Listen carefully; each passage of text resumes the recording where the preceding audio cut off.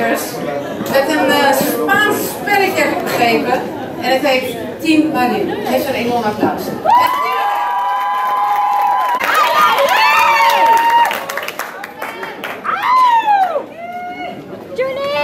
Hey, go. Hello.